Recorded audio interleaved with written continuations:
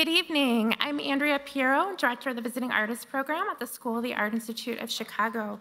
I'm delighted to welcome you to this evening's lecture by Nayland Blake, who is the Bill and Stephanie Sick Distinguished Visiting Professor. Each academic year, SAIC's Visiting Artists Program hosts a variety of public presentations by internationally recognized artists, designers, and scholars with the mission to foster a greater understanding and appreciation of contemporary art and culture. Throughout its history, the program has served as a critical resource and inspiration for our community. And tonight, we're honored to host Nayland Blake and have them become a part of our rich history of distinguished guests who have spoken at the school. At the end of the presentation, we'll have about 10 minutes to take three or four questions from the audience before the program concludes by 7.30. Our staff will have microphones circulating for your use. We ask that if you are posing a question to please stand and share your name and to keep your question concise. So thank you again for joining us tonight. And now it's my pleasure to welcome to the podium Elissa Tenny, SAIC's president. Thanks, Andrea, and welcome to everyone. I want to give a very special welcome to Stephanie Sick, who in 2006 established with her husband Bill this distinguished visiting professorship that bears their name. Bill and Stephanie's generous gift has enabled us to bring internationally renowned artists and designers, many of whom do not teach or they teach far away, to partner with SAIC faculty and teach our students.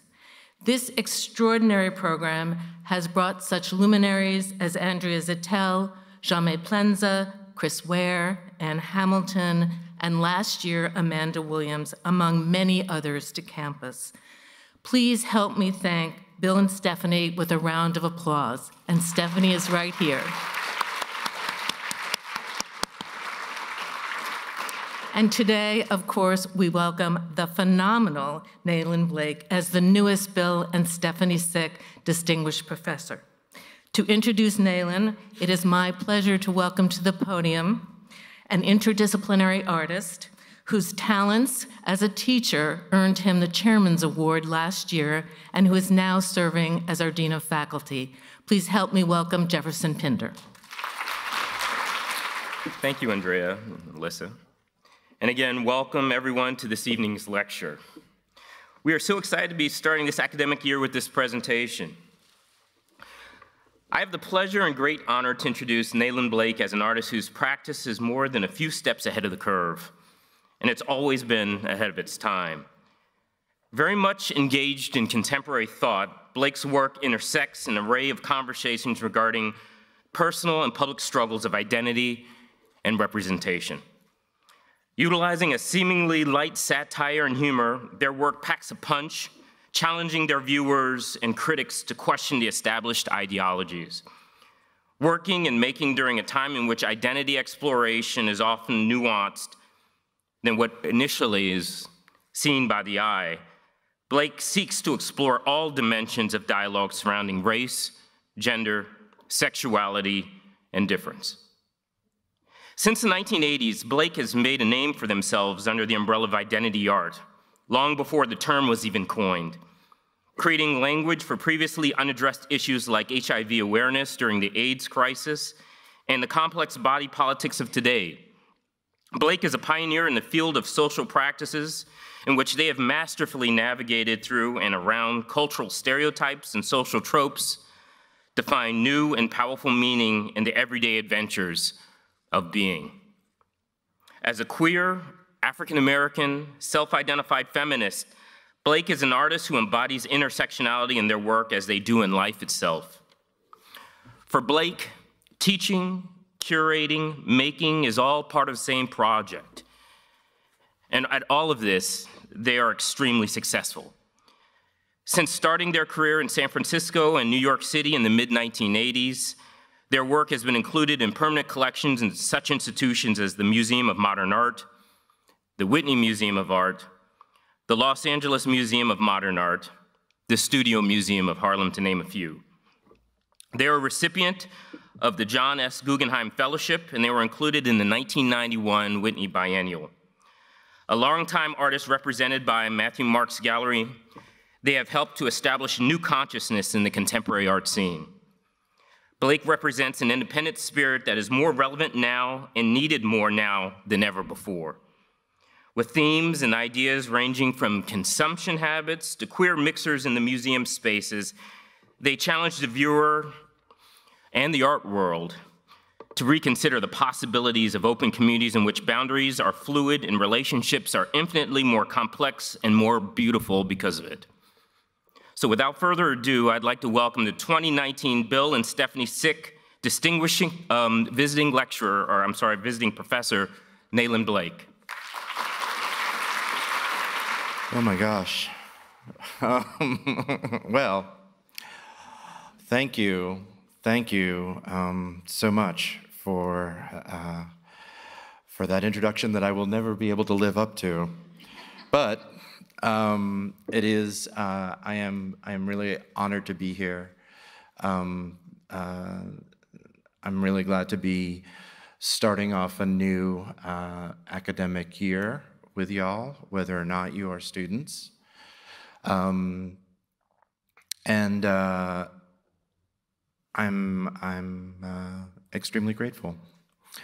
Um, generally, the way that I do these talks. I sort of, I tried to sort of feel out um, from a number of people uh, uh, here at the School of the Art Institute. Um, so what are these talks like? Like, I'm supposed to be like delivering like a, you know, is this like a homily in church? Like what am I, like a, you know, is this rabbinical exegesis? What's supposed to happen here? And everyone was really like, oh, do what you want to do. Like, it's fine. Like, do, do, you know, everyone will be glad to just see what you show. So, um, so we will test that thesis. Um, um, what I'm going to do is uh, take you on a kind of rapid fire trip through the work um, from the past, um, I guess, uh, close to 40 years at this point. Um, so I'm gonna I'm gonna show you things uh, both from um, my undergraduate experience and uh, and uh, graduate school, um, and then up to um, an exhibition that I opened in Los Angeles two days ago. So you're getting the full span of things. Um, and my tendency is to kind of show y'all a lot kind of quickly and then um, and then as we get into sort of question time it gets easier to kind of talk about how things kind of go together i'll do i'll lay some groundwork but then um, but then we'll move pretty rapidly um, usually i mean given that we have this format usually we have a I, I, I like to let people kind of interrupt with questions. Um, uh, but we won't do that tonight.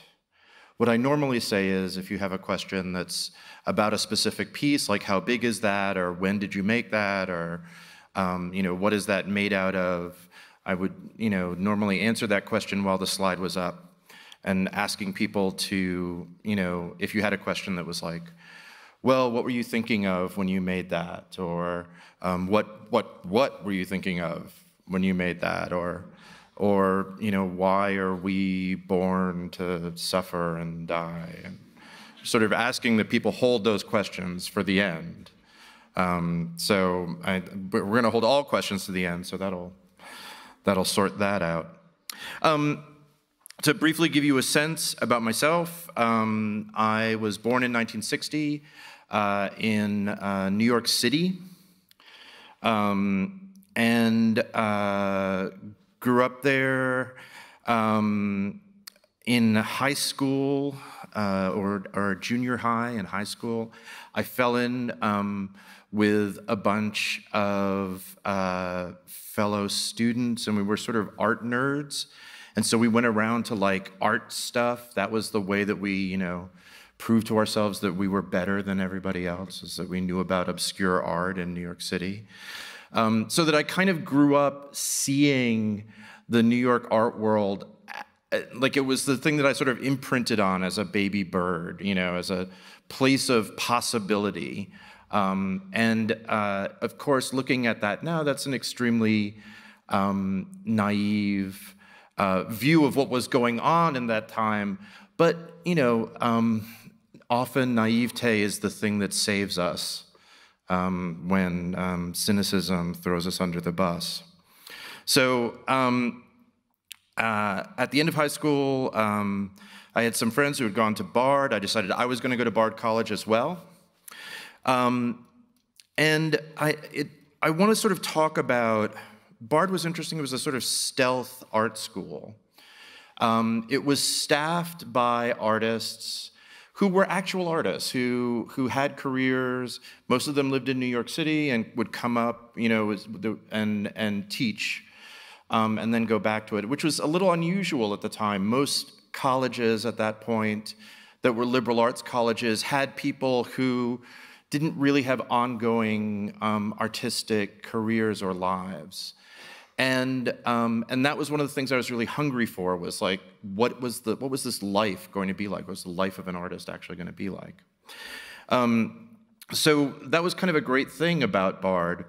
Um, one of the odd things about Bard, and it's a thing that I, I sort of want to talk about in general, is that, you know, every art school has um, has the, the work that succeeds in it.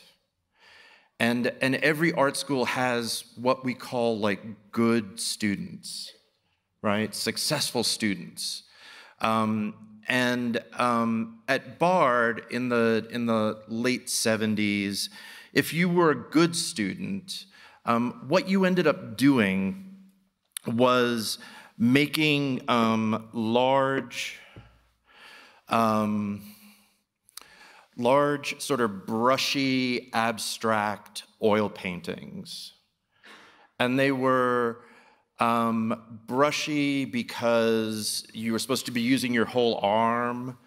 Arm gesture was better than wrist gesture.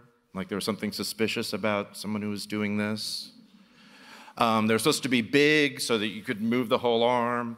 Um, they were oil because at the time, like the pigment density of oil paint was so much better than that of acrylic paint. And, um, and also they were abstract because, well, you know, representation was for goofballs who hadn't quite figured it out yet. Um, so as I started out at Bard, I was trying to sort of make these paintings. I could never really figure out how to make them. Um, this is not one of those paintings. Uh, to give you a good sense, one of the reasons why this painting was a problem is that it was um, like eight inches square. So, um, and it's acrylic, sin upon sin. That's amazingly enough not representational, but. Um, so, uh, I kept sort of trying to figure out how to like make these things, how to how to make those kinds of paintings. I could never get them to be large. I tended to always make sort of small things. Um, you know, here's sort of another iteration on these stripe paintings. Again, it's acrylic, um, but I started shaping the canvas. This is, you know, maybe this is 12 inches by 8 inches. Um, at Bard, if you were an intellectual, you made large, abstract, hard edged, geometric oil paintings because somehow geometry meant intellect. Like you were thinking things through because you had a ruler in your hand. Um, uh, math is hard, as we know. Um, yeah, I, I ended up like kind of sticking these, like this is made out of like toilet paper and spray paint and acrylic paint. It's just getting like worse and worse and worse. Um, and then finally something happened, which uh, was that I encountered um, the, uh, the work of uh, one visiting artist, someone who came and lectured at Bard, and then I also had an art experience. Um, the, the, visiting artist was uh, the artist Judy Pfaff, who at that time was just um, beginning to make installations, um, beginning to make work that filled entire spaces. Um, and the art experience was going to something called the Times Square Show, which is um, a show in 1980, in the summer of 1980 in New York City, where a group of artists um, uh, known as CoLab um, took over an abandoned um, massage parlor in the middle of Times Square, um, sort of when Times Square was at its, at its um, uh, most piquant, I guess you could say. Um, and uh, they filled, they organized a show that went on for a month and filled the space with work. None of it labeled. So it was like walking into this amazing funhouse of all of these different sorts of um, objects and paintings and stuff ev on every surface. And it suddenly struck me that that was a way that I could potentially work. Um, that instead of simply trying to make one big sort of unified idea, I could make a lot of small incidental ideas and put them together and, and fill the space with them. So that led to um, my final project at BARD, which was a big installation. Um, I took over an abandoned theater in there um, on the campus and worked for a month um, filling it up with stuff.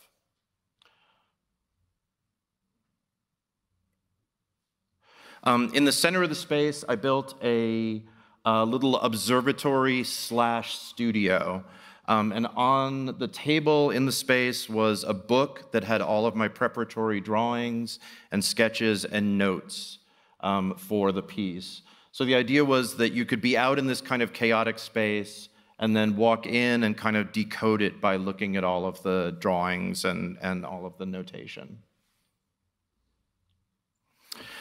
Um, so having figured out some way of being able to work, I was ready to graduate and to go on to graduate school, and I went to Cal Arts.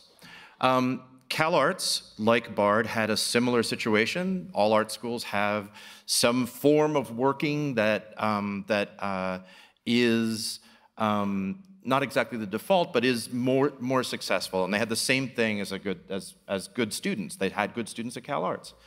Um, and if you were a good student at Cal Arts, what you did um, for your thesis show was that you posted a piece of typewritten paper on the door to the gallery that explained that you were deconstructing the notion of gallery space by refusing to include anything inside of it. Um, again, a proposition that I could not quite wrap my head around. So this is sort of my final show at Cal Arts. Um, Chris, this is the L-shape gallery um, that over one weekend I turned into the N shape um, in, a, in a fit of, um, you know, egomania and um, gave myself my first retrospective. That's me. This is 1984. You can tell it's 1984 by my like elegantly draped crop top t-shirt and off the shoulder uh, uh, overalls there. So I built all of this stuff. I built the bench, I built the display platforms, I built the furniture that was on the display platforms, the work, um, and I recreated my studio from, uh, from downstairs in the building in a kind of, um, you know, mocking homage to like the relics of artists um, up in the space there. So finished up at Cal Arts. Um, at that time, everybody that I knew uh, in the program was doing one or two things. They were either moving to New York to pursue their career, or they were staying in Los Angeles and working there. Um, I'm a person who's never learned how to drive. So staying in Los Angeles um, would have stretched my mooching skills to the limit. Um, and, uh, and I knew at the time that my work was not formed enough um, to really be able to withstand the pressures of New York. I had friends who had graduated before me or who were there pursuing careers, and I watched them um, you know, kind of frantically chasing whatever idea was sort of current in the art world at the time. And I knew that I would get easily caught up in that kind of a, that kind of a, a, a, you know a race, and that my own sense of what it was that I wanted to make wasn't developed enough to be able to um, to you know to get past that. So I decided to move to Los, move to San Francisco, a place where um, there was reasonable public transportation and you did not have to drive um, to live there. Also, it was the queer capital, and I was really interested in trying to figure out how to make work that was um, about a um, about a queer experience at the time. So we're talking like 1984. Um, this is the first show that I had in San Francisco at a place called New Langton Arts, uh, an artist-run nonprofit. Um, this is 1985, and um, it's an installation. Uh, I'll show you. You sort of entered. There was that that wall there. You came around the back. You saw this, and then you came out the other side. Um, so what's going on on this wall is again sort of all of these preparatory drawings and all this other stuff. I got done with this show and I was profoundly disappointed. I had been out of school for a year. I'd had my first opportunity for a public exhibition, and I had made this thing um, that I felt let down by for two reasons. One, um, everything in this space was kind of ephemeral and chaotically thrown together and by the end of the show, there really wasn't much of anything for me to be able to reflect upon or to think about. Um, there was just really kind of a lot of debris.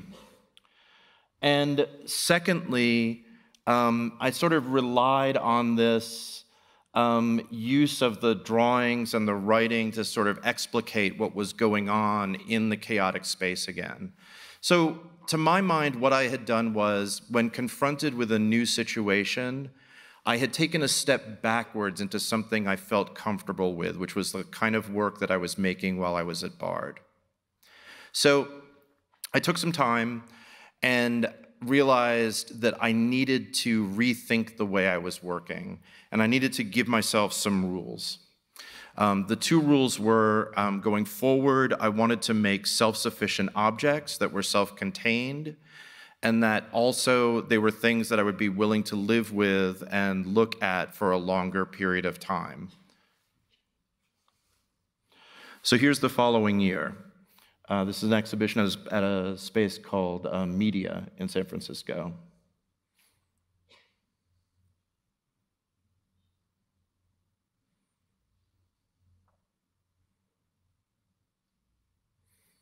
So 1986.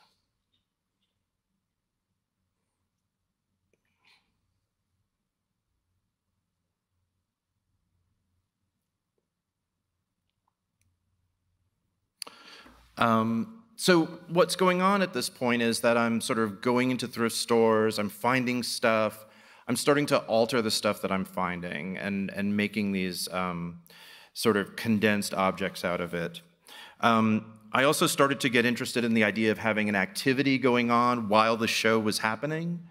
So uh, in this piece, uh, which is called 500 Kisses, um, I printed two sets of cards.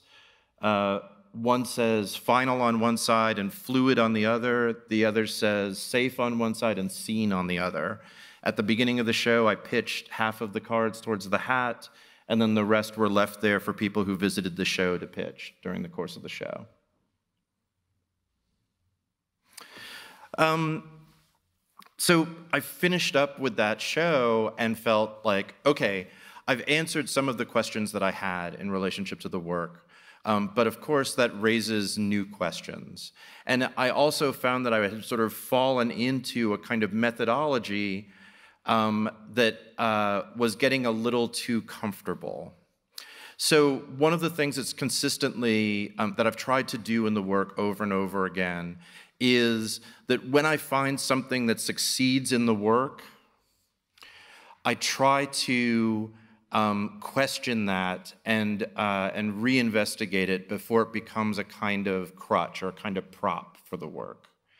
Um, so I, so there I was, you know, I was like finding these kind of weathered objects. I was slapping some evocative text on them, and boom, you had art, right? Um, and I started to think, okay, what happens if I take some of that stuff away? What happens if I separate it out? One thing I thought was whenever we encounter an object, we encounter it with language. So I don't need to write something on the piece. People already have words in their head in relationship to the thing that they're seeing. Um, so I started doing a, a, series of pieces that were about different substances. Um, this is water, wine, vinegar, piss. Uh, it's a piece called After Veronica. Um, it is uh, men's handkerchiefs that have been stained with a variety of substances. So, um, sweat, semen, blood, carbon, um, um uh, wax, and then um, framed and tagged, uh, like with these sort of specimen tags. Um, I then took the words and decided I was just going to treat them as their own thing, and so I started making these sign paintings. I always thought this was a good thing for a painting to say. Um, this is a piece called March. So uh, from 1987, for the month of March, uh, every day I had an apple. Um, I took the core and dated it and tagged it and then preserved it in a jar with vodka. So this is 31 apple cores for um, the 31 days.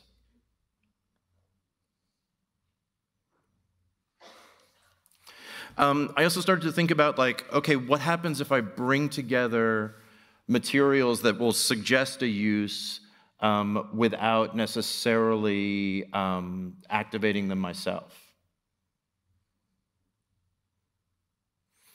Says, don't waste it.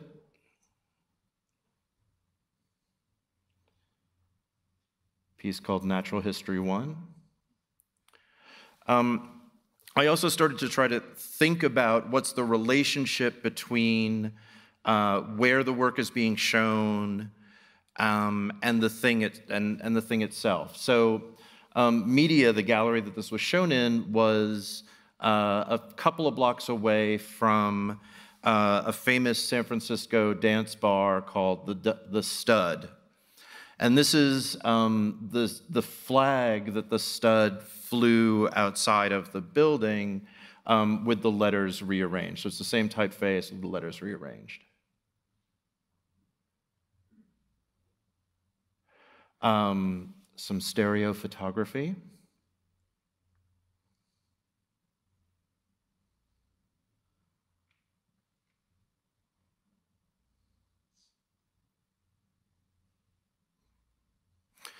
So again, things were sort of progressing along. I felt like there were some points where um, there was again, I was sort of relying on the same effects over and over again. One of them was this sort of sense of antiqueness, the sort of patina that everything had.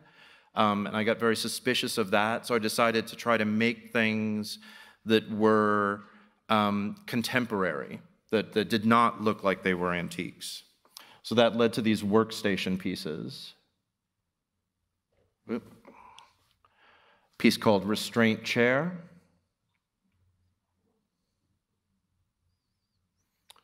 uh, hog tie, piece called Flush. Um, and then taking the words uh, from those sort of um, patinaed sign paintings and silk screening them onto chalkboards. So this is two different um, translations of a passage from Leopold von Sacher-Masoch's book, Venus in Furs. He's the person that masochism is named for.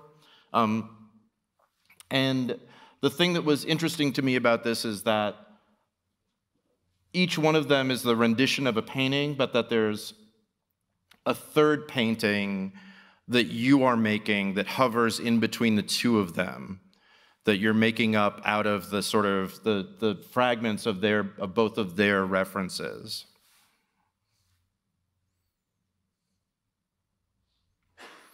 Uh, this is from a pamphlet that I found on the street in San Francisco um, that was called "The Many Faces of Addiction." Uh, we never figured out like what it was about codeine that it occupies like the nexus of all addiction. Like, do not, don't worry about the nicotine. Don't worry about like the morphine. It's the codeine you gotta watch out for. Uh, Oscar Wilde's initials. A piece based on uh, the Hanky Code.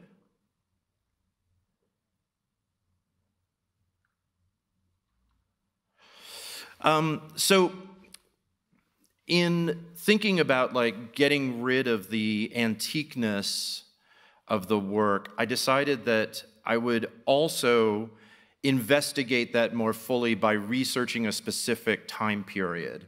And that led me to making a series of installations, which I've called suites for one, one reason or another.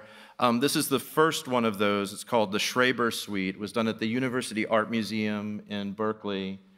Um, and basically, these shows tend to be combinations of curatorial projects and installations. Um, this piece was based on a book by, uh, um, by Daniel Paul Schreber, um, a 19th century German judge, called Memoirs of My Nervous Illness.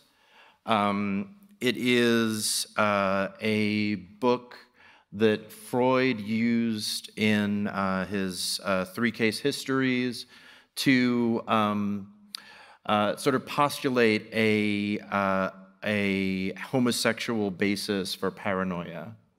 Um, and what I did was go back to Schreber's text, um, combine it with some things that I made in, in reference to the text, and then also um, connected up with works from the museum's collection that were contemporaneous with the text.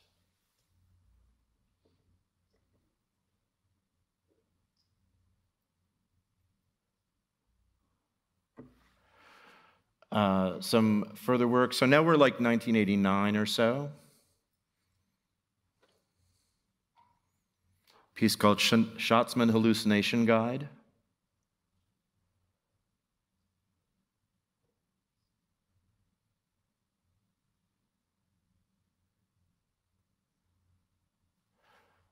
Um, Valerie Solanas' Scum Manifesto.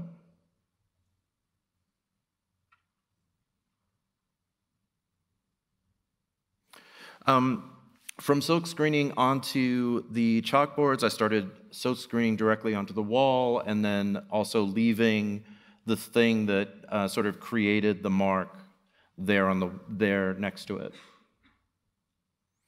Uh, this is a project for um, an art magazine uh, based in the Bay Area um, called Shift. So for a while, I had a, an alter ego, uh, Princess Coco. Um, and so as you can see, the work is getting more and more elaborately fabricated, and there's more and more production going into it.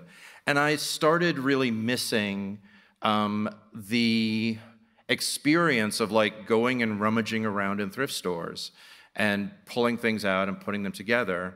And I also began to ask myself a question that I, has continued to this day, which is what is the stuff that is in my life that I'm, that I'm in contact with all the time that I'm not allowing into the work? And I think um, for all of us, uh, it's an important question. So these pieces are sort of the first stab at that. These are um, mass market paperbacks um, uh, in plexiglass boxes. I would basically buy the group of books at one go um, and sort of organize them.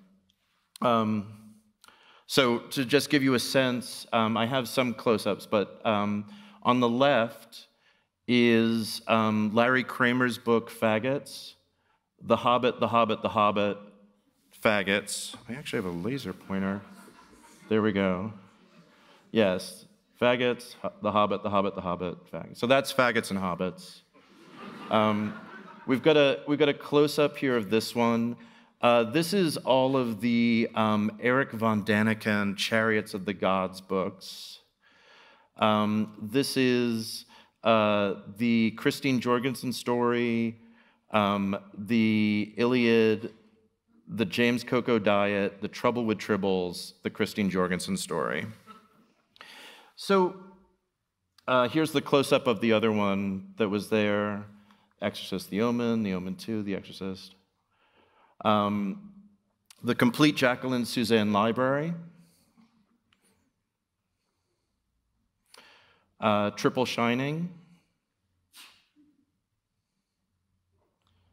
So, one of the reasons, one of the, the things about making those pieces was that um, these were books that I had all that I had read and that my friends had read, and yet um, we would never admit to that. We would. It was always like you. We were always fixated on the latest sort of theory, um, and it, you know, it, it, always seemed really odd to me this idea that um, some subject, some part of your life, as you were actually living it, was somehow unacceptable when you were going to move into the art world.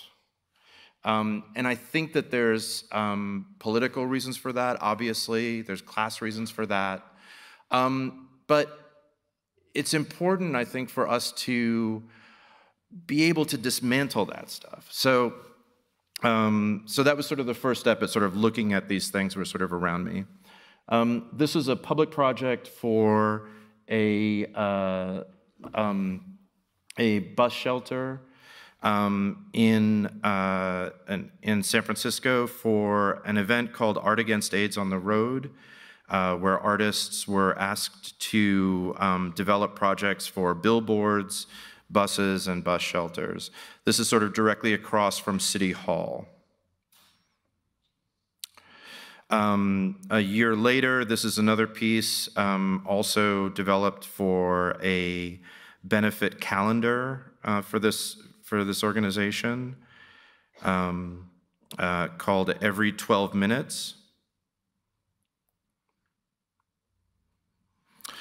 Now we're on to 1990 and a group of works um, uh, that are again kind of looking at um, medical issues and restraints. Uh, a piece called Head Hog Tie, uh, Shiny Shiny. Uh, this is a canvas restraint. Um, this is, it's a little bit hard to see the scale of this, but this is, um, uh, that's about 12 feet long and it's about 12 feet tall. So that's a dual, um, a dual canvas restraint. A piece called Feeder. Um, I started doing a lot of work with puppets. Uh, so this is a wall-mounted puppet stage. Uh, part of a group of pieces called Hysterical Arrangement. Um, an early video uh, made for um, a show in a gallery that a friend of mine opened. Uh, the friend is uh, named Rick Jacobson. He opened a gallery called Kiki in San Francisco, um, and uh, one of his first shows was a show called Sick Joke, um, uh, black humor in the first decade of AIDS. Um, Rick himself was um, uh, diagnosed uh, with AIDS around that time. Um, this is a piece called Negative Bunny. Uh, it's a half hour long piece where this bunny sort of harangues you about um, letting him and that you should really let him because um, he's really negative, because he's negative, he's so negative. Um, by the end of the half hour, you know exactly how negative he is. Um, this is uh, another piece from around that time called Magic. Uh, this is uh, Wayland Flowers' puppet Madame. Um, I tried to sort of step away from the uh, a lot of the stainless steel and leather and and uh, and rubber, and began making some things uh, that were more about um, a different language of materials. So these are um, what I call bouquet pieces. They're artificial flowers and bent willow letters. Each one of them is a word. This is poof, uh, rim. Uh, there's a bunch more of those. Uh, this is a piece called The 70s. Uh, it's one album from my collection of records, uh, one album from each year from 19, 1970 uh, to, what is it? It's 71 to 80, I think. Uh, another piece um, using records.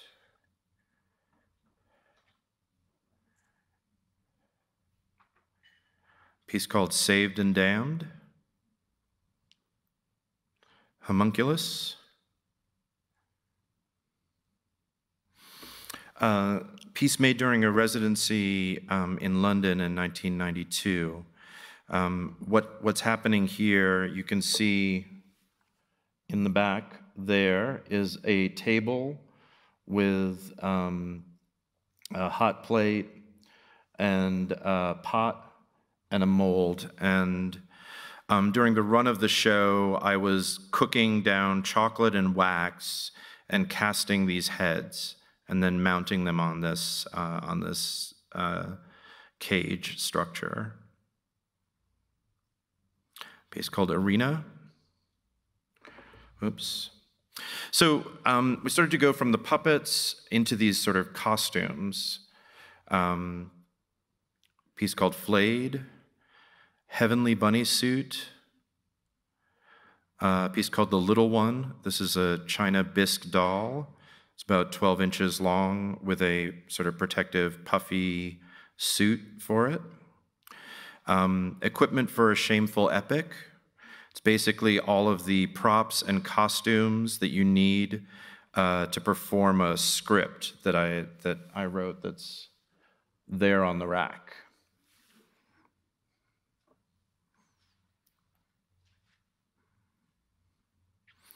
A piece called Blind. Uh, basically, um, during the run of the show, you could buy an hour of my time uh, in this uh, bunny suit wearing this blindfold and gag and kind of chained up in this bower structure. And so we would videotape the hour and send that to you. Reversible bunny suit. Uh, another one of these sweet pieces. This is the, the, um, the Philosopher Suite. It is an installation that is uh, built around various interpretations of the Marquis de Sade's book, Philosophy in the Bedroom.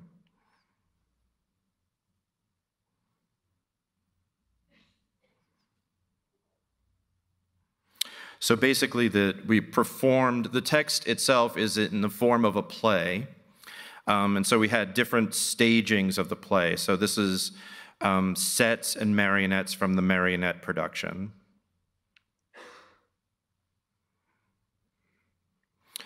Um, the next suite is uh, uh, using uh, Ralph Ellison's book, Invisible Man. Um, this is at the Baltimore Museum of Art. Um, again, it involves um, a series of actions um, within the museum and then also items from the museum's collection. Um, the, the, uh, the the piece sort of combined the play um, Harvey uh, with, um, with Ellison's novel. Um, both of them were written around the same time, and, uh, and, and basically I uh, um, made surrogates of various pieces uh, in the museum's collection and then brought them into this installation in this altar. Um, this is the, so that was 1994. This is the next year, a show in Los Angeles. It's a little bit hard to figure out what's going on here, but um, that is the tallest thing in the space, and that's about 14 inches tall. So when you walk into the space, you're basically towering over everything that's in it.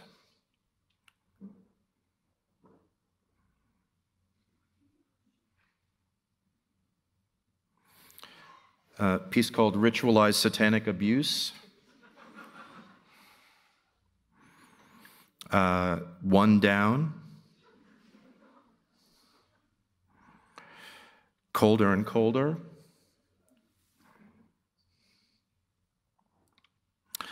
Um, a few uh, a, a, few pieces from around the same period based on this uh, Pinocchio silhouette.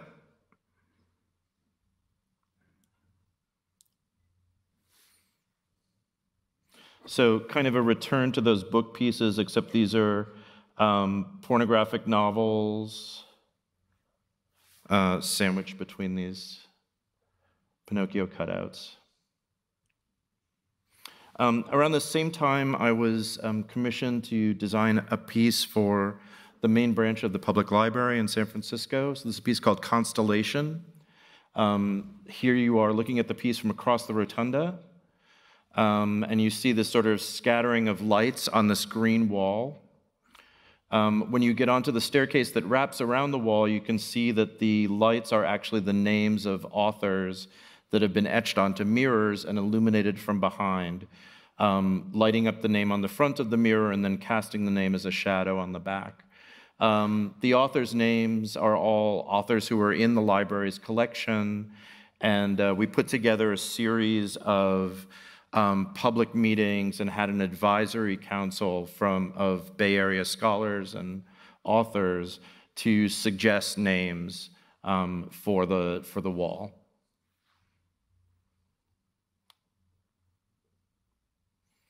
Um, still small paintings. This is these are like uh, nine by ten. It's a little frightening to see them on this projected on this scale.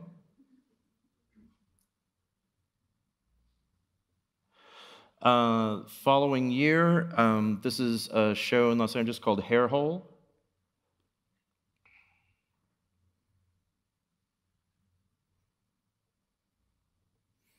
Piece called Scarecrow.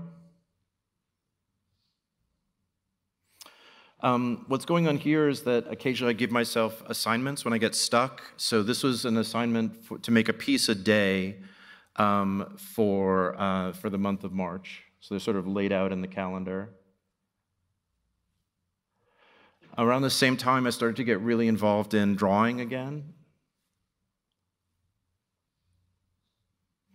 Um, and then a performance from that year um, called Bunny Slumber, um, where I uh, was in a hotel room um, uh, during an event basically asleep, and we handed out disposable cameras to people to take pictures with them.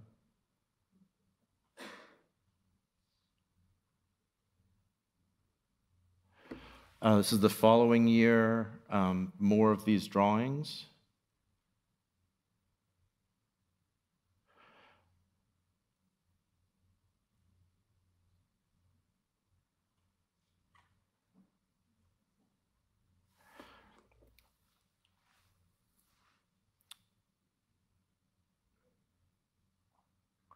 A piece called Ibeji. So one of the things that I was trying to look at here was um, sort of two art-making legacies, both a European one and an African one.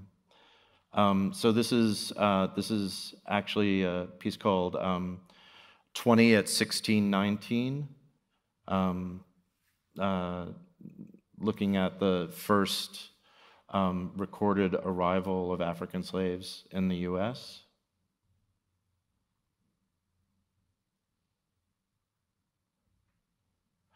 Um, 97, I was commissioned by um, the Brooklyn Academy of Music to um, uh, um, create a performance with some collaborators. It's a piece called Hair Follies. Um, my two collaborators are the choreographer Ishmael Houston Jones, uh, dancer uh, Patricia Hofbauer,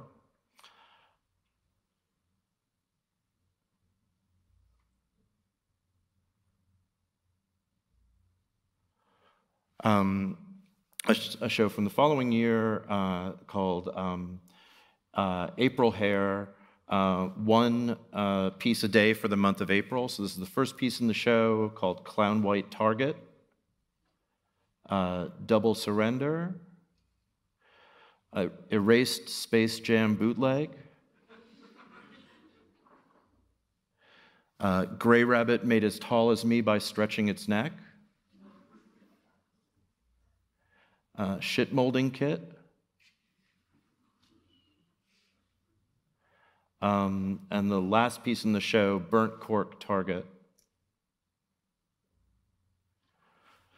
Uh, the next year, piece called Feeder 2, um, uh, steel and gingerbread, about seven feet by seven feet by 10 feet and it was shown in conjunction with this video, Gorge, um, during the course of which it's an hour long video um, where I'm being fed a series of food, foods by, um, by this gentleman. Um, and uh, subsequent to that, whoops, um, I've performed Gorge live a number of times. So this is um, 2009, I guess.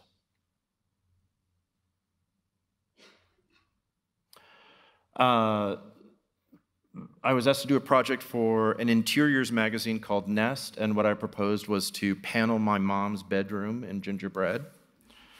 So that's mom um, with her with her house full of gingerbread.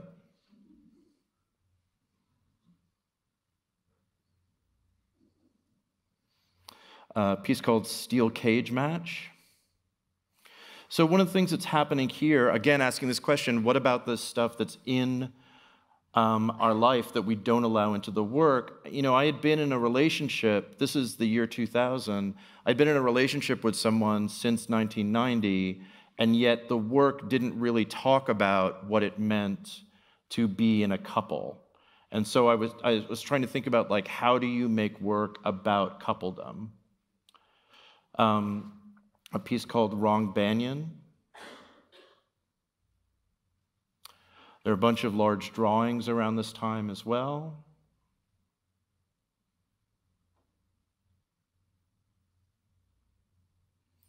Uh, server, that's a tar, uh, steel, and angel food cake. Um, so another one of these pieces about coupledom is a piece called Starting Over. Um, it is a performance where I am wearing a suit that has been weighted so it is the same weight as um, my partner at the time. And I'm learning a dance routine that he is teaching me from off camera until I'm physically incapable of doing it any longer.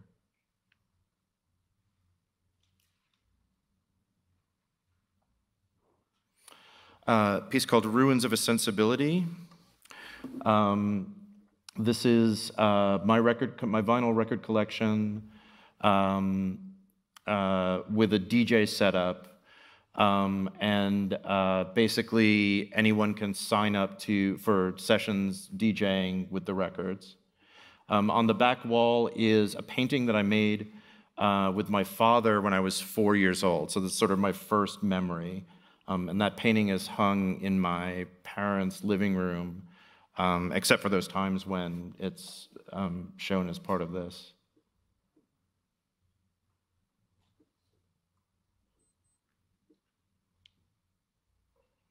So I'm going to speed up a little bit because I'm, I just took a look at what time it is. Um, this is work from a show in 2004 um, that uh, was really looking at notions of internalized racism. Piece called The Big One.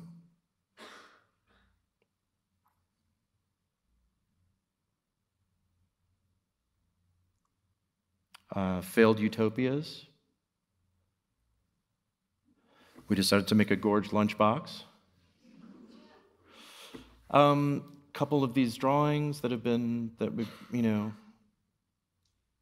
So one of the things that's become really important is a sort of daily drawing practice. And now, I, for the past, I'd say five years, I draw every day. Um, this is a piece called Endless Comfort. Uh, so in 2004, um, uh, the partner that I had mentioned uh, died unexpectedly, and um, I spent sort of the next year not really able to make anything until I made kind of a series of works that were, in some ways, looking at our um, looking at the legacy of our relationship together. We had actually been broken up for a couple of years before his death, but it was kind of a shock when it happened. Uh, this piece called Companion.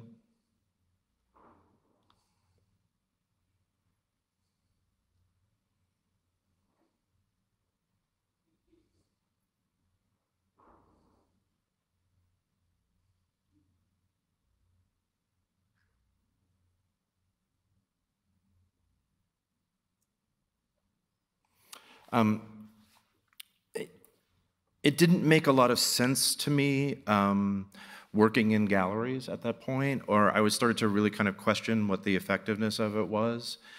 Um, and so I started making a lot of work just out on the street. And basically, what was going on here was I would find a piece of garbage, I would draw on it, and put it back where I had found it. Um, on the back, I would write, a gift for you from the Department of Transformation. And they were kind of pieces that were there for whoever the next person was who came along and found them. Um, I'll tell you like what happened with you know the book pieces that I was talking about, right? The book pieces in the plexiglass boxes.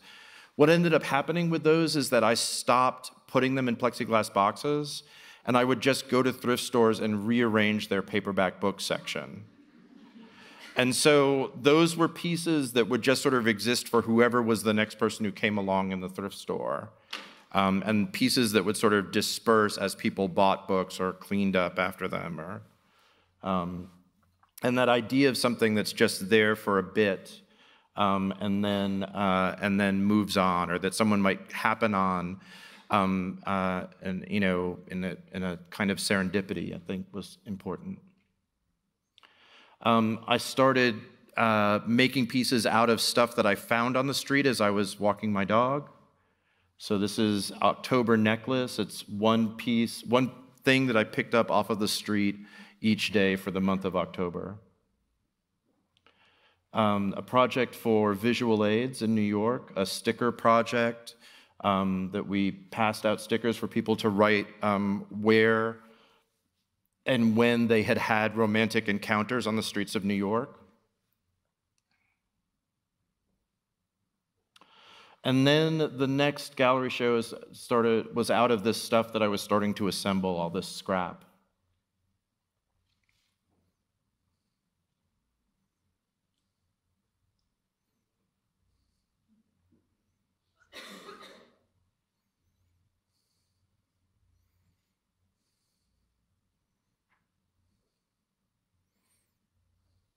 And basically, what started happening was that I started working in this kind of improvisatory way where um, I would go to the space for like a week before the show was supposed to open with a bunch of materials and then improvise the show out of those materials over the course of the week.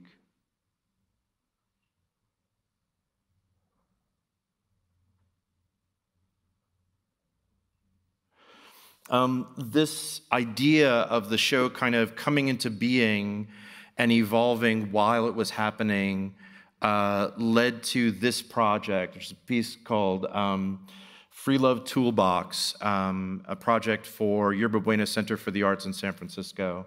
And it's a piece that it's an it was an uh, like four month long installation that looked at the history of San Francisco's South of Market leather community, and also its um, sort of queer punk moment in the, in the early 90s. Um, through the lens of how those, those communities have been kind of displaced by development in San Francisco and gentrification in the, in the subsequent years. So it was trying to call forth that history into the space again through a series of activities. Um, That wall of shelves that you see there was designated for people to bring stuff to the gallery that to them symbolized freedom and to leave it there as part of the show. Um, we had a series of, um, of lectures and presentations on these histories from the neighborhood.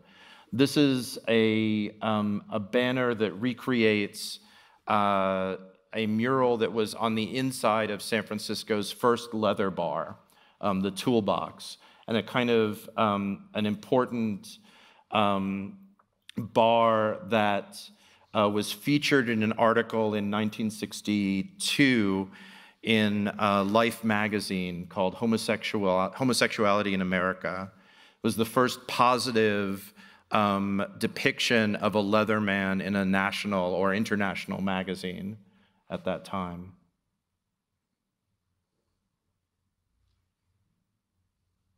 So we were trying to turn the space of the exhibition into a space of production. Um, we had a series of performances. This is me uh, with uh, my collaborator, Lolita Wolf. Um, uh, she is attaching a series of um, surgical staples to my arm and back. Um, connected to those staples are, um, are uh, these threads that are then connected to um, uh, ribbons. And then we had folks in the audience come up and unfurl the ribbons and tie them onto the banner in the back, and then I performed as a kind of um, inverted marionette. Um, here's the show from the next year, another sort of improvised um, sculpture show. Um, starting to look at the places in art institutions that are not necessarily associated with producing meaning, so like the bathroom or the back entrance, um, the places that are sort of uh, um, disregarded or discounted normally. So that's the gallery's bathroom that you could sort of peer into. Piece called Buddy Buddy. And part of what this show was looking at is the fact that um, galleries in Chelsea are ended up displacing um, uh, New York's leather bar community. The, that was what was in that, in, in that part of town um, before the galleries moved in there. So this is a sort of faux um, leather bar that I invented.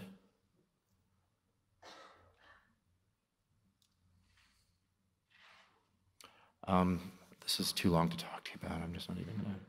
It's, it's me inside of Pinky the elephant, but Pinky's got a long story. I'll tell you some other time. a piece called The Chipmunks Genuflect.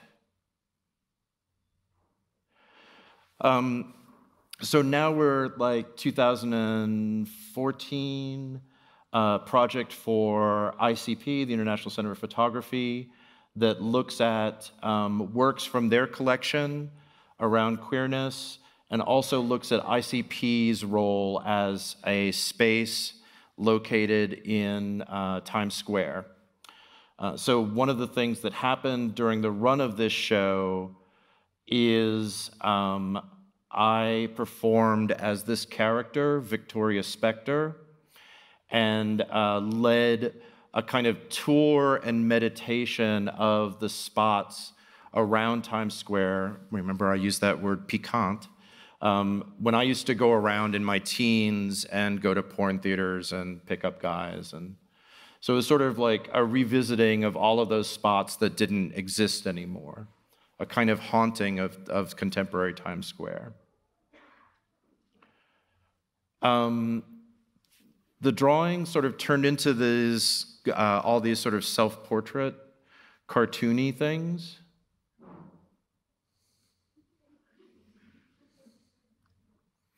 Um, I started posting these online. That's kind of the only way that they live, really. They don't um, I, I, know, I don't really show the physical copies, I just show the online versions.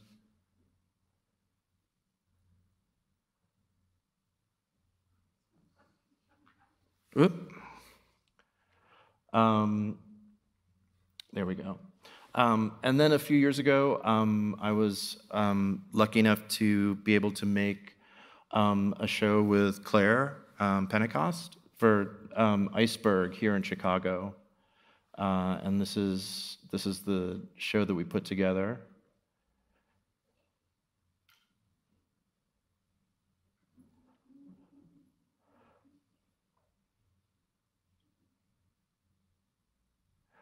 Uh, little gnome backroom party with the disco ball there. Yep.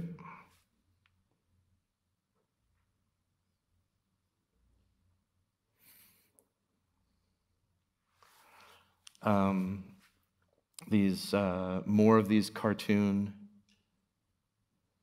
self-portraits. Um, for a while, these I was drawing these for um, a uh, art website called Hyperallergic. So I was sort of their weekly cartoonist.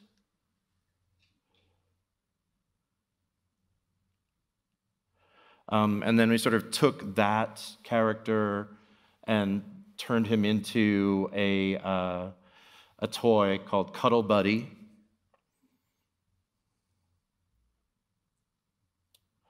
And so, um, another collaborative project uh, with an artist um, named Liz Collins, all about the uh, mending of this sock monkey.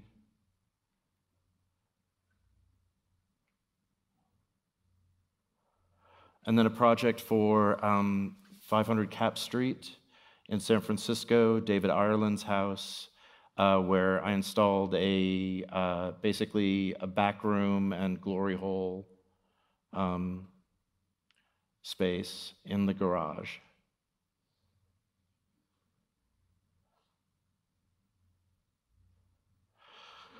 Um, last year, uh, project for the new museum. Um, uh, for a long time now, I've been involved in the um, furry community. Um, this is uh, my persona, Gnomen. Um, during the run of the show, um, I did a performance where I was in um, the suit as Gnomen, and uh, we uh, and I I offered um, buttons to people who would take the elevators with me. The button would say um, uh, tell your secret to the button and pin the button to Gnomen. So by the end of the show, um, basically I was kind of covered in these ribbons and bearing all of these other secrets from people. And then this is the most recent show that just opened um, at, uh, at Matthew Marks in Los Angeles. Um, it's called Nayland Blake's Opening. Um, and there's a series of these pieces um, that I'm calling vanities that are um, hanging mirrors and, uh, and little um, individual tables.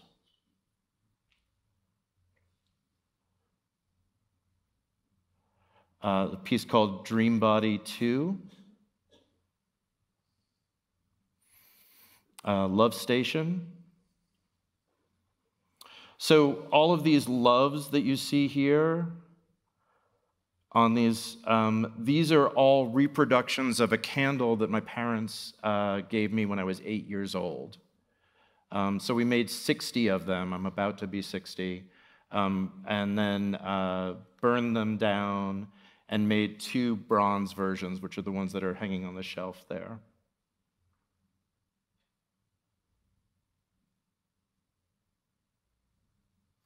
Uh, Dream Body 1, Pink Posture, and a series of new uh, uh, sort of um, sort of paintings, except they're not at all. They're plexiglass um, uh, that has been uh, scraped and abraded and are mirrors.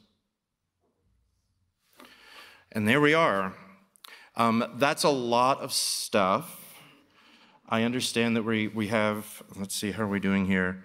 714. Okay, we have around 15 minutes for questions. Um, and uh, I will try to try to keep it um, to the somewhat to the point.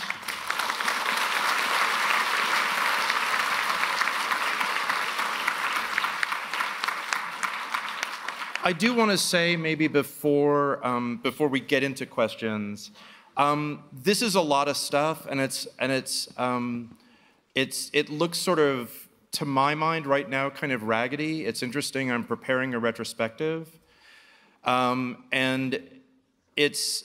Uh, I think I, I enjoy the fact that it kind of looks raggedy. And I want to talk just briefly to those of you who are students, um, and, and to say that it is not ever your job to be finished. It is really your job to be present. Um, the, there's a thing that art making does that we desperately need at the present moment. Art making can make something be many different things at once. And we're living in a time where people, out of their fear, just want the right answer. They want to be the good student or they want to be the bad student. They want to be they want to have a definition. They don't want to find that definition. They want to just be able to announce it and be done with it.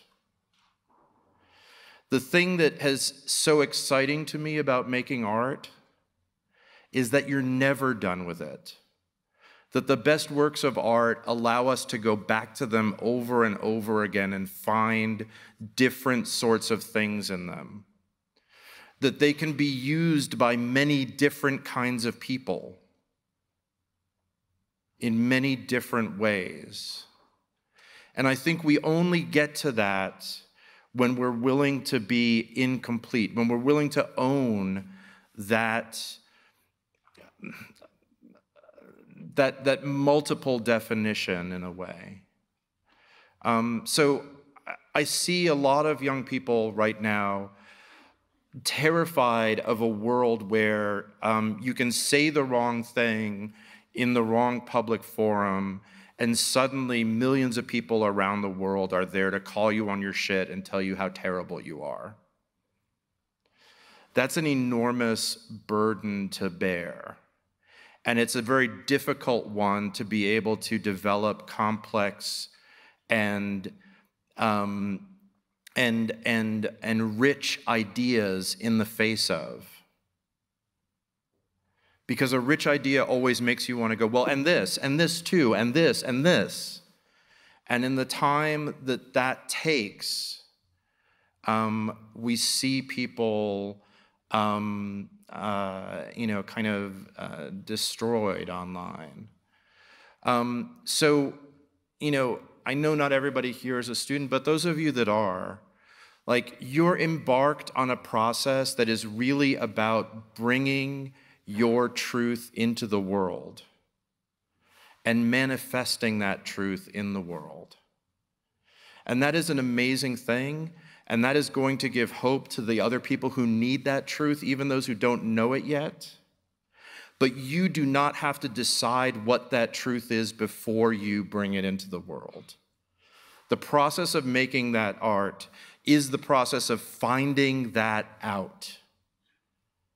It is the process of thinking out loud with things that will bring you to places that will surprise you if you do it right, and will continue to surprise you for the entirety of your life.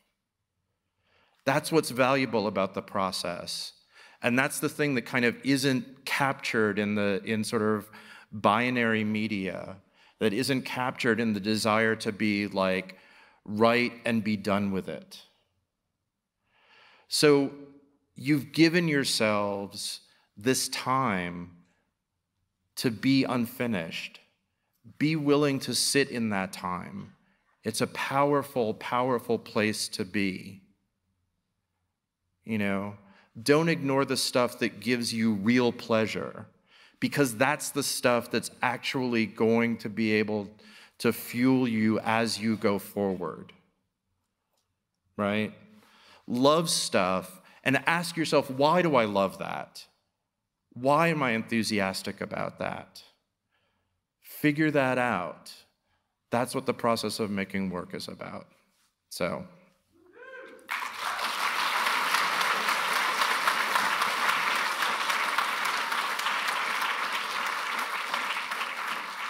So, do we have a question?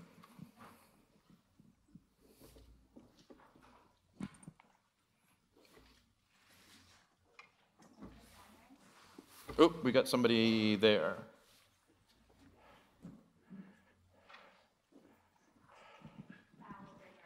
Yep, we got a we got a mic headed your way.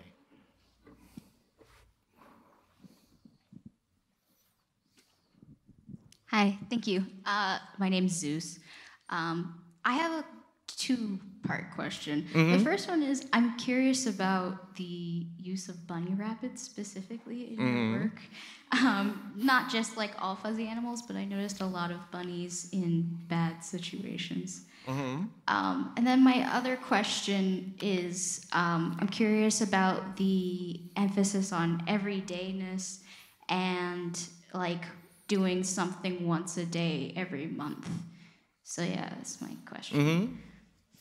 Um, well, I'll do I'll, I'll do the second part first. Um, I'm uh,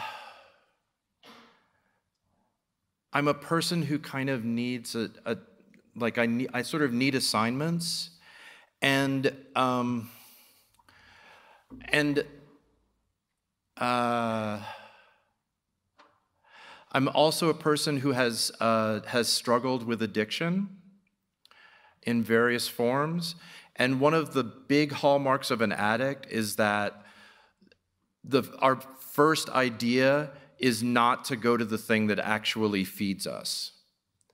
That anything else becomes easy, easy, easier to do than the thing that is actually going to nourish and sustain us. So for me, making art nourishes and sustains me. And um, when I'm feeling anxious about something, the easiest thing for me to do is to do anything other than making art. So I was at a place about five years ago where I spent so much time working as an administrator, working on other projects, that I basically was like, Am I even an artist anymore? Do I even make anything? And it was like late December, and so I decided, okay, here's the deal once a day, I'm going to make a drawing. And it doesn't matter if it's like 11:59 and I'm and I make like I, and I scribble on a piece of paper like bad drawing. That's fine. The point is doing that every day. Um, because it's it was sort of the denial of my connection with my own thought that was putting me in that place of doubt and anxiety. So for me, the assignments is like, and doing things regularly is the antidote to the sort of grandiosity of like, how are we going to grapple with the terrible issues of our day? How are, you know, I mean, it's I'm, not a joke, right? You get up and you get on Twitter and like you can count in like the seconds how long it takes you to feel bad about being in the world. Um, and, uh, and so, what's the antidote to that? Well, the antidote to that is all of the people throughout history. I mean, I love that, that, that Merle is coming uh, because what an example, right? Somebody who focuses on the not the grandiose ideas that oh, we are now making art, so it's super important. I am the bearer of Western civilization, and thus, you know, everything I do is. Um, but no, it's like people who get up every day and provide an example of their own brilliance in some tiny way. That's the stuff that feeds us. That's the example that we can actually use, right? Um, it's one of the reasons why like media representations of artists are useless, right? If you want to become an artist, because it doesn't look like anything to make art. It's not photogenic. it's a lot of like sitting around and trying to figure out whether or not like two colors that you put on a palette are actually going to make sense on this thing, right? It's a lot of scraping down canvases. It's not it, you know, so um so so that's that part of it. To me the the daily assignment is the antidote to my own pomposity, right? Like just get up and do it and don't worry about whether or not it's like the thing the contract I made myself with myself was not it had to be a good drawing, it just had to be a drawing. And then the rabbit thing, um, I usually talk about it as a way of talking about the way that we talk about content in work, particularly in art school, is to my mind kind of screwed up. Um, I uh, used to do these performances. They were sort of found text performances. This is in like the late 80s, and I would wear like a prom dress that I found at a thrift store and like read this text. And it was very punky, and you know, before Courtney Love ruined it for everybody. Um, and um, and at one point, I was going to do one of these things, and it was like, okay, guys in prom dresses, little little played out. So I needed a new costume, and I was walking by this magic store. I saw a rabbit costume. The whole piece was about witchiness and magic and stuff. And I was like, oh, great, I'll be like the rabbit in the hat. So, you know, got the rabbit suit, did the performance. And then my process is that I will do something and then I will ask myself, okay, what felt right about that and why did it feel right? And so I started to kind of research rabbits and make work that used more rabbits. And so the first thing that came to mind was like, well, you know, rabbits, they're like, uh, they're known for two things. They're known for like fucking a lot, they're known for shitting a lot, right? So at that time, like in the you know early '90s, it's like, well, who else gets talked about that way? Like gay men, right? They're having like dirty anal sex, and they're having lots of it. So I made a lot of pieces where the rabbits were kind of metaphors for gay men, right? And then I started to ask myself, okay, what's the, where have I encountered rabbits like in my past? And the thing that immediately came to mind is um, my grandfather used to read me Uncle Wiggily stories. Um, we used to, I used to watch Bugs Bunny cartoons, and he used to um, uh, read Uncle Remus stories to me, right? Um, so the Uncle Remus stories, uh, these Joel Chandler Harris stories, which no one reads anymore for a very good reason, um, uh, are actually they're a white person's version of West African folk tales. Um, and so that character of the kind of trickster rabbit is a character that comes to the US with slaves, right? And I started thinking about Bugs Bunny and how Bugs Bunny is a gray rabbit, right? And Bugs Bunny often appears in drag, but he also often is like singing songs and playing a banjo. And what songs are he singing? He's singing Camptown, you know, he's singing Camptown Races. He's singing like Swanee. Well, these are like minstrel songs, right? So there's a way that that character is an extension of minstrelry in, in the US. And so I started making work that was about the way that there's a kind of racial ambivalence in the rabbit, and the rabbit's becoming these figures for, um, for, for um, racial ambivalence and, and my own um, racial history, right? This, the grandfather who read those stories to me is on my dad's side, so it's the black, you know, my, my black grandfather.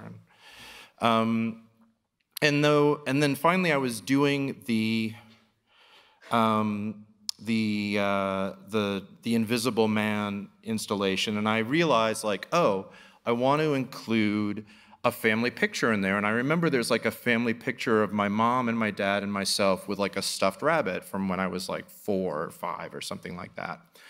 And so I was going through family photos and found this other picture of myself with a live rabbit from like a year after, right?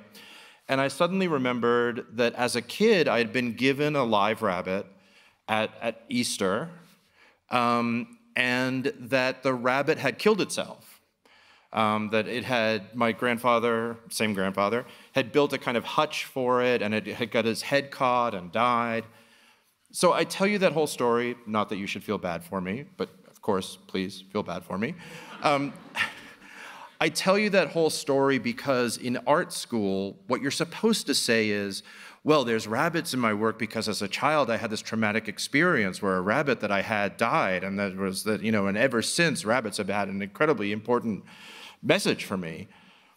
I didn't access that memory until I had made all of this other work, until I had done all of this other research into things that were not part of my actual childhood, right? Um, and I think that that's the way that content actually functions in work. That it's not like you have some perfect essence of yourself that you're going to squeeze out like a like a like toothpaste, you know, into the world, but rather that as you ask yourself questions about the things that you make, you get to find all of these different ramifications about what might draw you to something in the beginning. I, re- I literally like did not have that memory until I found that picture like years after working with that. So, do we have time for any others? Yeah.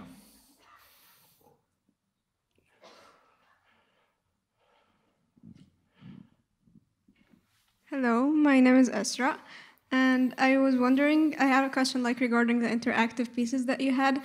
Uh, what's the effect of involving audience or the public on your artwork, like both on a personal level, like how you view your artwork before and after, um, like the public interact with it, and what's the significance of just like having the audience contribute to this? Um,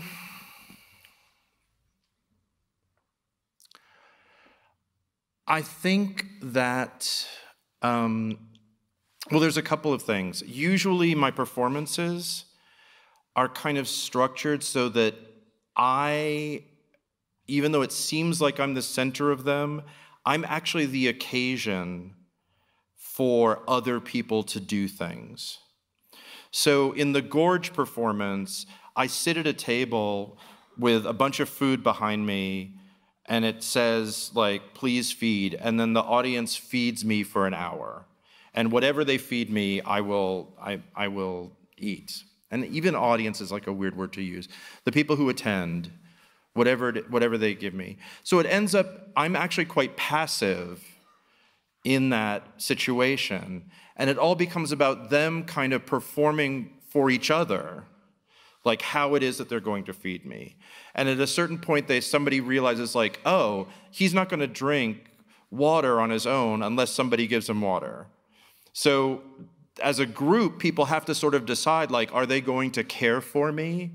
Are they going to, um, in this situation, how are they going to exercise their power? And to me, that's the most interesting part, right? Um, in the Gnomen performance, I'm not saying anything. It all becomes about people like talking to each other and being like, well, I don't have any secrets. I can't really share any secrets with this person. Like, you know, and and then other people like getting, you know, sort of getting into it. And um, I think overall, in terms of the sort of socialization around works of art, I'm much more interested in um, it being us together what would we do? Like the, like the thing that I kind of hate more than anything else in an art school context is someone who says, um, yeah, well, this piece was like all of this, but what if somebody from the real world came in who didn't know anything about art and they saw this piece? And uh, A, there is no person who knows nothing about art. That person doesn't exist. And B, we can't ask them. They're not in the room. So, really, what you're doing there is you're ditching your own responsibility to respond to the work by coming up with this theoretical person who isn't around, right, and can't be verified either way. I think it's tough for us to be able to articulate our experience. And so that's why I sort of balk at the term audience because it implies somebody who just sits and listens and has an experience that's closed off from everything else. But the truth is, like, when you go to the theater, people in the seats make the play happen as much as the people on the stage. You know, the play doesn't end until everybody pl- applauds, right? That's something that we all agree to do together. And so I'm interested in creating situations where we get to experience each other's power as creators and perceivers in a way that is pleasurable and fluid. That's what's exciting to me. I don't have to be um, driving the car all the time, I don't have to be in charge. It's interesting to me and exciting and thrilling to me to see like when someone else takes the wheel and goes to a place. Um, and and and everybody in the room sort of feels it, right? Like when you go to a really good party, and everybody there is sort of like bringing that energy into it. That's that's like the best stuff, you know, and that's the stuff that art history is actually made out of, is people like entertaining themselves. Um, I just sort of want to like uh, just quickly like thinking about folks who are well thinking about like the bay area. People we were in a marginalized situation that nobody else wanted right? People were literally on tv talking about they did not care if everybody died everybody that i cared for right? Um, we're, we're in a similar situation now right where we have a government that is actively seeking to kill off people, would be so happy if people died. What do you do in the face of that? Well, you go and yell at that government. That's one thing that you do. But you also like gather around and create joy for those people who are around you. And it's harder to do that if you're thinking of that as an audience, right? It's easier to do that when you're thinking of it's us. What are we going to do together? What do I have the power to bring into being at this moment that we can like connect with and create together? And, and really, I believe that is how like art history gets made. Those are the those are the exciting intellectual moments where people are like thrilled to be around each other and that they wish that they were there. So